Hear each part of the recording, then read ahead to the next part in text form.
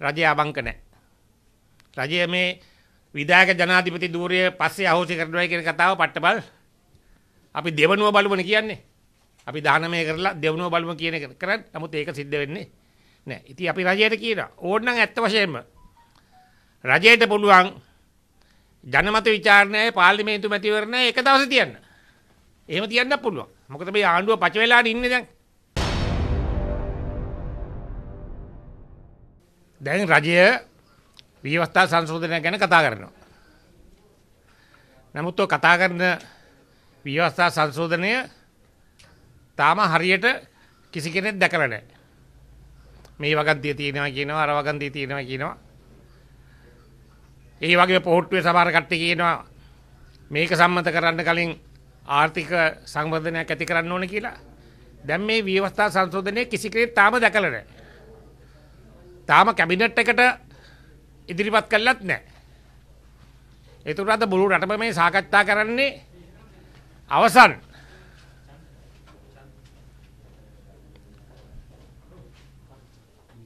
රජය විසින් අවසන් තීරණයක් නැති ව්‍යවස්ථා සංශෝධනයක් ගැන තමයි කතා කරන්නේ.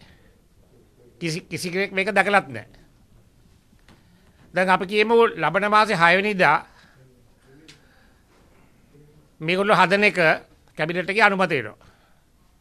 ඊට පස්සේ මේක ගැසට් කරන්න ඕන. ගැසට් කරුවායින් පස්සේ පාර්ලිමේන්තුවට පළවෙනි කියවීම ෆස්ට් රීඩින් එකට ගේනවා. ඒ කියවුණායින් පස්සේ මේක නීතිපති දෙපාර්තමේන්තුවට කෙටු නීති කෙටුපත් දෙපාර්තමේන්තුවට ඊට පස්සේ ශ්‍රේෂ්ඨාධිකරණයට යනවා. ඊට ශ්‍රේෂ්ඨාධිකරණයේ තීන්දුව අනුව දෙවෙනි වර කියවීමට පාර්ලිමේන්තුවට එනවා. ඒතකොට ලබන 6 වෙනිදා මේක අනුමත කෙරුවයි කියන පදනම යටතේ මේ ක්‍රියාදාමය අවසන් වෙන මාස 3ක් යනවා. අඩුව ගානේ. අඩුව ගානේ මාස 3ක් යනවා. රජය කියනවනේ මේක හදිස්සි. රටේ ජනතාව මේක බලාපොරොත්තු වෙනවා. එහෙමෙන් රජය කියන්නේ අපිට බලන් ඉන්න බෑ. නමුත් අපි රජයට කියන්නේ ඔය කියන විදිහට හදිස්සි නම් සමගි ජනබලවේගේ ඉදිරිපත් කරපු බිවස්ථා සංශෝධනයක් තියෙනවා. ඒක තමයි ඇත්තටම පාර්ලිමේන්තුවේ ලියාපදිංචි කරලා තියෙන 21 වෙනි විවස්ථා සංශෝධනය කියලා. දැන් රජය කියනවනේ අපි 21 විවස්ථා සංශෝධනය ගේනවා කියලා එහෙම දෙයක් නැහැ. රජයට 21 වෙනි සංශෝධනයේට අයිතියක් නැහැ. 21 21 වෙනි සංශෝධනය ගෙනල්ලා තියෙන අපි පෞද්ගලික മന്ത്രിවරුන්ගේ යෝජනාවක් හැටියට රජිත් බණ්ඩු බණ්ඩාර මැතිතුමා ඒක ඉදිරිපත් කරලා තියෙනවා. එතකොට ඒ ඒ යෝජනාව දැන් සෑහෙන දුරක් ගිහිල්ලා ඉවරයි. ඒක පාර්ලිමේන්තුවට ඉදිරිපත් කෙරුවා. කවුරුවත් විරුද්ධ වුණේ නැහැ. ගැසට් කෙරුවා. ඊට පස්සේ ගැසට් කරලා නීතිපති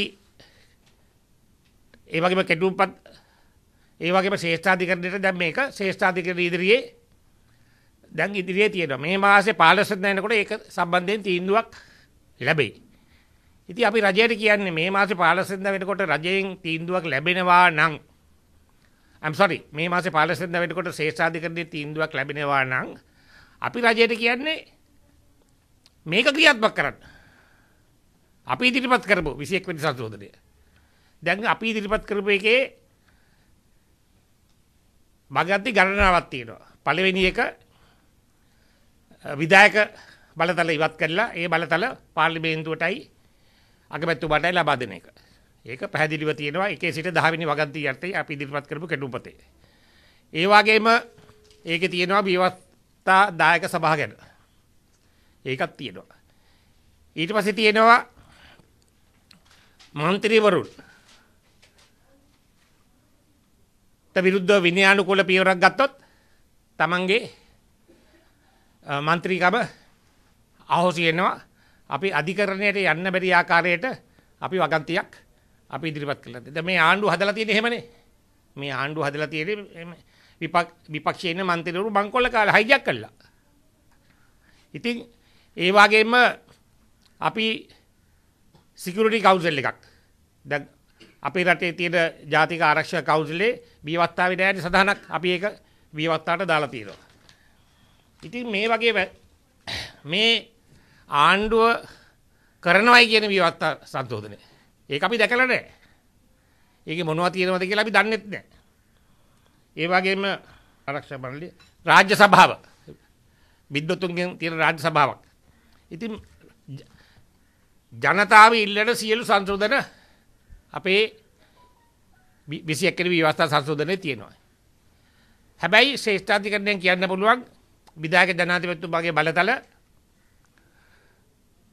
පාර්ලිමේන්තුවට දෙන්න නම් ජනමත විචාරණයක් තියන්න කියලා ශ්‍රේෂ්ඨාධිකරණයෙන් කියන්න පුළුවන්. නමුත් මම කියනවා අපිට මාසයක් ඇතුළත ජනමත විචාරණයක් නොතියන්න හේතුවක් නෑ. මොකද මේ විදායක ජනාධිපති දුවරිය ආරම්භ කරපු දා ඉඳලම ඊට පස්සේ ආපු හැම ජනාධිපතිවරයෙක්ම මේක අවශ්‍ය කරනවා කියලා තියෙනවනේ. හැම එක්කෙනෙක්ම හැම පක්ෂයකම හැම එක්කෙනෙක්ම. නමුත් ඒක සිද්ධ වෙලා දැන් නෑ. ඉතින් මේ හොඳ අවස්ථාව රජය අවංක නම් රජය අවංක නම් දැන් ගෝඨාභය රාජපක්ෂ ජනාධිපතිතුමා කියනවනේ මම විදා මයි 11 වෙනිදා හො කිව්වා. මම විදායක ජනාධිපති ධූරය අවශ්‍ය කරන්න අවශ්‍ය පියවර ගන්නවා කියලා එතුමා කිව්වා. ජාතිය අමතා. ඉතින් ඒ ඒ පියවර අපි 21 වෙනි සංශෝධනය හරහා අපි පාර්ලිමේන්තුවට අපි ඉදිරිපත් කළා තියෙනවා. ඉතින් රජයට රජය අවංක නම් අපි රජයට කියන්නේ මේ පාර්ලිමේන්තුවට දාලා 150 පෙන්වන්න. 150 පෙන්වන්න. නමුත් මම කියනවා රජය අවංක නැහැ. රජය මේ විදායක ජනාධිපති ධූරය පස්සේ අහෝසි කරනවා කියන කතාව පට්ටබල් අපි දෙවනුව බලමනේ කියන්නේ. අපි දානමය කරලා දෙවනුව බලමු කියන එක කරන්නේ. නමුත් ඒක සිද්ධ වෙන්නේ නැහැ. ඉතින් අපි රජයට කියනවා ඕනනම් ඇත්ත වශයෙන්ම රජයට පුළුවන් ජනමත විචාරණයේ පාර්ලිමේන්තු මැතිවරණය එක දවසේ තියන්න. එහෙම තියන්න පුළුවන්. මොකද මේ ආණ්ඩුව පච වෙලාට ඉන්නේ දැන්. මම මේ වචනේ කීපතරයක් කිව්ව හැබැයි කවුරුවත් ඒක ලියන්නේ නැහැ. මන්දන මොන හේතුව නිසාද කියලා කවුරුවත් එක ලියන්න කිසිම පිළිගැනීමක් නෑ දේශය වශයෙන් පිළිගැනීමකුත් නෑ ජාත්‍යන්තර වශයෙන් පිළිගැනීමකුත් නෑ මොකද මං කල්නිත් කිව්වා අර සමන්ත පවගේ නිවේදනය දැක්කහම ඒක පැහැදිලිව කියන්නේ රජය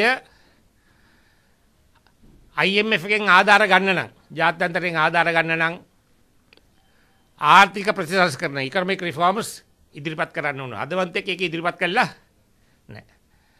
පොලිටිකල් රිෆෝර්ම්ස් ඒ කියන්නේ දේශපාලන ප්‍රතිසංස් කරනත් කරන්න ඕන. ඒ දෙකම තාම කළා නෑ. සිල්ලර හම්බ වෙනවා බෙහෙත් ටිකක් ගන්නෙම. අර ඉන්දියාවේ අර දැක්කනේ හිඟන්නු ටිකුත් එක්කව කරලා දුන්නේ. ඉතින් ඒ වගේ ආධාර හම්බ වෙනවා. නමුත් රට කොට දාන්න පුළුවන් ආධාරයක් තාම ලැබිලා නෑ. රට කොට දාන්න ලැබිලා නෑ. ඉතින් අපේ රජයට කියන්නේ අපි තමයි 21 වෙනි විවස්ථා සංශෝධනයේ නිර්මාතෘ රජය තාම කිසිවක් ගෙනහැල්ලා නැහැ පාර්ලිමේන්තුවට කොහෙද තියෙන්නේ? ඒගොල්ලෝ කියනවා ඒගොල්ලෝ 21 ගෙනවා කියලා. නමුත් ඒක හදලත් නැහැ.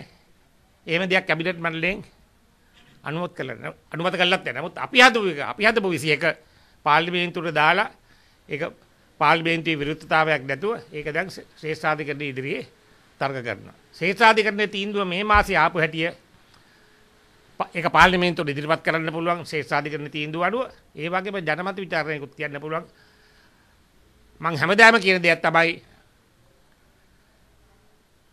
මේ රජයට පිළිගැනීමක් නැහැ. ඒ වගේම දැන් ජනතාව කියනවා 225 පා කියලා. එහෙම එහෙම එහෙම කතාවක් තියෙනවනේ. ඉතින් ඇත්ත වශයෙන්ම අලුත් පාර්ලිමේන්තුවක් පාර්ලිමේන්තුවක් අවශ්‍ය නැද්ද? මේ රටේ ප්‍රශ්න විසඳන්න අලුත් පාර්ලිමේන්තුවක් ඕන. මොකද අලුත් පාර්ලිමේන්තුවක් බලයටපත් වුණාම මේ රටේ ජනතාවත් කල් දෙනවා. අවුරුද්දක් එකමාරක් දෙනවා මේක අලුත් ආණ්ඩුවක් නේ අපි කල් දෙමු කියලා. එහෙම එහෙම වෙන්නේ නැද්ද? එහෙම වෙන්නේ නැද්ද? එහෙම වෙනවා. ඒතර ජාත්‍යන්තර ප්‍රජාවත් කැමති වෙනවා අලුත් ආණ්ඩුවක් අපි අලුත් ආණ්ඩුවක් එක්ක ගනුදෙනු කරන්න ඕනම කෙනෙක් කැමති. ඉතින් ඒ වගේ තත්ත්වයක් තියෙන්නේ. ඉතින් එක දවසේ ජනමත විචාරණයකුයි පාර්ලිමේන්තු මැතිවරණයකුයි තියන්න පුළුවන් කවුරුත් විරුද්ධ වෙන්නේ නැහැ. මොකද දැන් ඇත්ත වශයෙන්ම අපි උනත් පාර්ලිමේන්තුවට ගියහම අපිට පේනවා මේක පිලුණු වෙලා මේ මේ පාර්ලිමේන්තුව. පිලුණු වෙලා. එයාට මෙයාට පැන්න මිනිස්සු. කිසිම ජනපදනමක් නැති.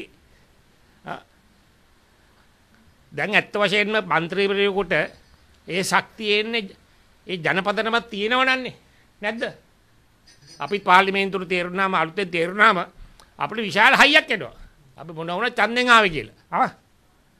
දැන් ඉන්න മന്ത്രിවරුන්ට ඒ හයිය දැන් නැහැ. මොකද ජනපදනම සම්පූර්ණයෙන්ම විනාශ වෙලා. ඒතර මේක සර්වපාක්ෂික ආණ්ඩුවකුත් නෙවෙයි. මේක එහෙම මේ മന്ത്രിවරු හයියක් කළා හදපු ආණ්ඩුවක්.